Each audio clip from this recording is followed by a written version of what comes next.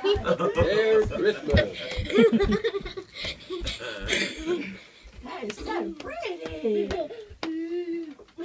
Well, Cassie, whose bed is that? Since it's brand new, you better be very careful getting up there, okay? So where are you going to sleep at, Cassie? She's gonna sleep on the bottom. Oh, okay.